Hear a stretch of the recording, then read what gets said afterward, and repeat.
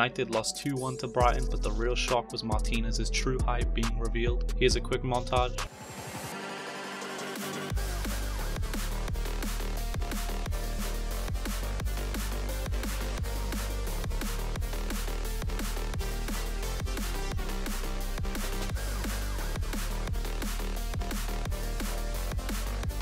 Let's see what Gary Neville had to say. I don't know. I, I, I have no comment on it.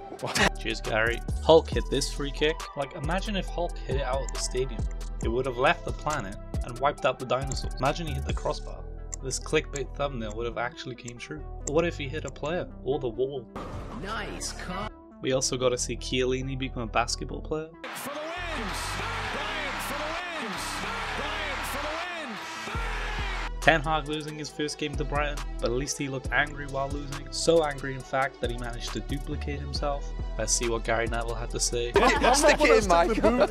Cheers, Gary. Also, I found this image of lookalikes and I thought it was pretty cool. So I was looking into it and I was seeing like Neymar, Pele, Salah, Ronaldinho, Marcelo, Jesus, Ibrahimovic.